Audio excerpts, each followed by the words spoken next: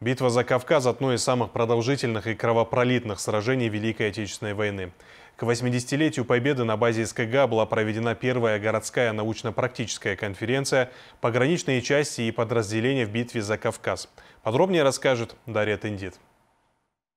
В рамках проекта «Историческая память» совместно с ветеранскими организациями на протяжении долгого времени проводятся мероприятия, посвященные сохранению исторической памяти. Научно-практическая конференция не стала исключением. Проводится она впервые, но станет доброй традицией, поделился куратор федерального партийного проекта «Историческая память» Альберт Зугаев. Научно-практическая конференция, мы обозначили такой формат с привлечением среднеспециальных учебных заведений, чтобы привлечь интерес э, молодежи к этой теме, э, пробудить какие-то э, краеведческие моменты, чтобы молодежь привлекалась, изучала свою историю.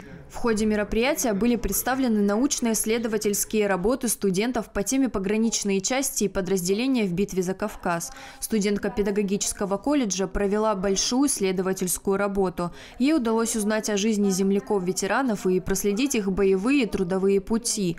Во время выступления она рассказала об участниках этой битвы. С одним из них студентке удалось связаться и записать обращение. Моя работа заключалась в том, что можно узнать как можно больше о ветеранах пограничников Великой Отечественной войны, чтобы наше подрастающее поколение э, не забыло о военных э, действиях, чтобы не забыли о наших героях.